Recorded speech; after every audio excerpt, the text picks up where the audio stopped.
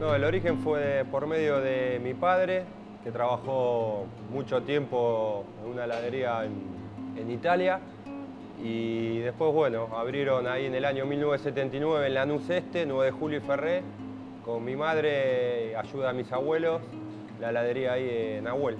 Sí, está mi hermano, eh, estuvo trabajando también mi hermana, mi señora, eh, mi cuñado también, trabajó un tiempo, lo que pasa que bueno, es una actividad que los fines de semana, cuando están todos eh, divirtiéndose, vos estás trabajando.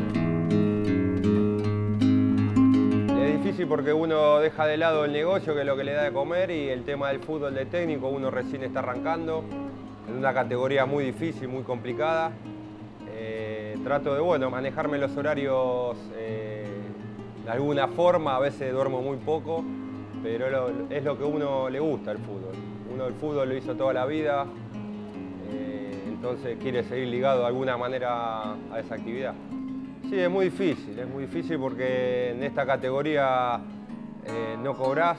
Yo si estaría en otra divisional